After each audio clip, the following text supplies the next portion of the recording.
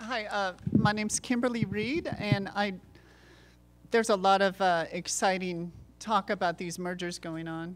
Um, and I'm very, very happy about all of those, but I think I, I, might just have the best job of the evening because I get to introduce somebody who's really special uh, to you tonight. And her name is Edie Windsor. And uh, NewFest is uh, presenting our Visionary Award. Uh, it is NewFest's highest honor, and it's presented to pioneers who have made a significant difference in the lives of LGBT people, either through film or activism. And uh, Edie kind of covers both. Um, Edie has been a tireless activist uh, for her, her whole life for LGBT life, for LGBT rights. And uh, i want to just give you a couple bullet points. I know there are people out there who watch Mad Men, and I want you to think of Mad Men as I'm telling you a couple bullet points because um, Edie wasn't just the secretary in the corner batting her eyelashes at her boss. Edie was one of the most innovative programmers at IBM during its heyday. Um, in 1956, she got a master's in math and was programming at UNIVAC. She started working at IBM in 1958. Uh, by 1968, she had been named the Senior Systems Programmer, which is IBM's highest rank. And uh, she was later honored uh, as a pioneer in operating systems. Um, one cool fact I thought was that in the early 1980s, she took delivery of the very first PC to be delivered to a New York address, which I think is awesome. Um, and uh, the, the 1980s also saw the beginning of her lesbian and gay activism. Um, she's been involved in many, many of the ground floor movements uh, that have taken place in the LGBT community. She was a charter member of the task force. She was part of the founding core group that started the center um, and also the Lesbian Herstory Archives she anchored an early branch in a phone tree so that when there was uh, anti, anti-gay, anti-LGBT defamation, the, the, the phone tree would mobilize and kind of spawn these instant demonstrations. And that was actually what later, you know, what, what became the first movements of uh, the, the, the, first efforts of GLAAD.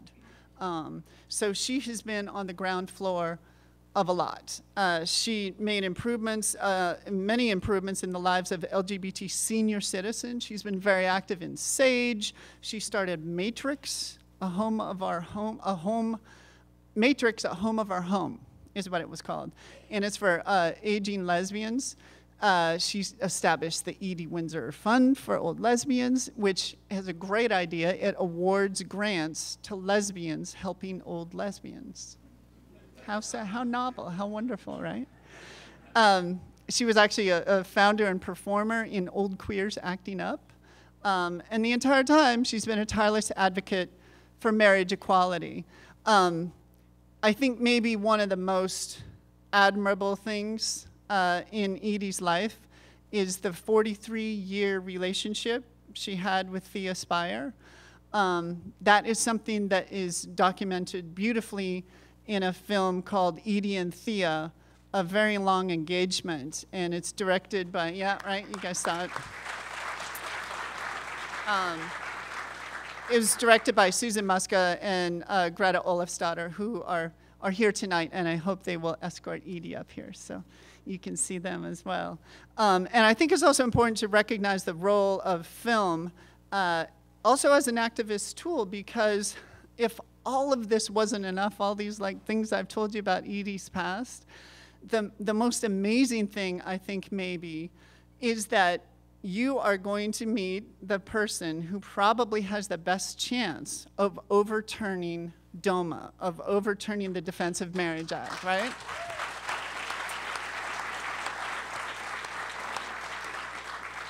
Which is just quite a pinnacle of a, a very long list of successes um, after uh, Edie's wife Thea passed away, uh, Edie had a heart attack and she she fell uh, quite ill, And at that time, she said, You know, my feeling was we had a wonderful life together, and, and you know, I could die now.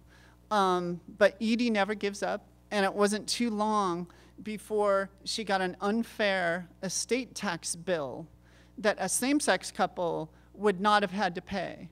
And find, fighting that injustice um, really gave her another reason to live. She decided to sue the US government, arguing that DOMA is unconstitutional because it violates the Equal Protection Clause. and in doing so, in fighting that injustice, she, she really found new, new motivation to keep going. Uh, she said, Once I started the pursuit of this, it did become a reason for living, a great reason for living. And I couldn't agree more with that. Um, if I am one quarter as productive and effective and vivacious and beautiful as Edie is when I'm her age, I will consider it a, like a massive success. I can't believe this woman. And so, in celebration of all that Edie has done for the LGBT community, and in anticipation of all the great things that she still has left to do, I'm going to borrow a phrase from Edie, and I'm going to say that I am absolutely thrilled out of my skull to be able to present NewFest's second annual Visionary Award to Edie Windsor.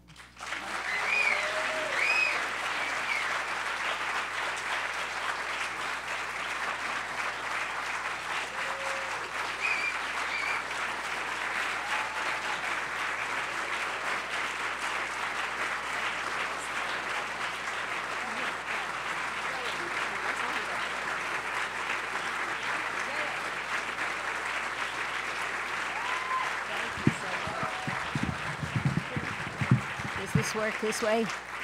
Uh, thank you so much, NewFest, and thank all of you for this humongous honor. It feels so fitting because, except for my fierce sense of justice and fairness, which I got because I was the youngest member of my family and constantly uh, kind of get blamed, I got blamed for everything. So I became very fierce about that. But it, everything else that I done that seems brave and visionary is due to a love affair and a documentary film. And that's, that's absolutely true. In the early mainframe years, senior programmers from IBM and its customers met annually on alternating coasts to discuss and define, create programming theory and technical requirements and standards. And on the night before, we all met to drink and, and to tell our stories. So I learned whose kid had learned how to ride a two wheeler bike, and I learned whose kid had, had been admitted to college, and went on like that. And I never said a word about myself. But then I fell in love with Thea Spyer and realized that she loved me too. And I suddenly blurted out, hey guys, the most important thing in my life has happened and I'm not telling you. So I did. And okay. And okay. And that was the beginning of my coming out. Once out I was when I began working for the gay organizations. I did work with almost every gay organization that existed or was being formed in those early years. SAGE gave me a Lifetime Achievement Award for that phase of my coming out. For just under 44 years, Thea and I lived together in love and joy, sharing all the joys and sorrows that came our way. Even in the face of day to day struggles, we both remained strong and joyous in our life and love. It was, it was said of us that we had a, that we had a talent for wresting joy from the shite.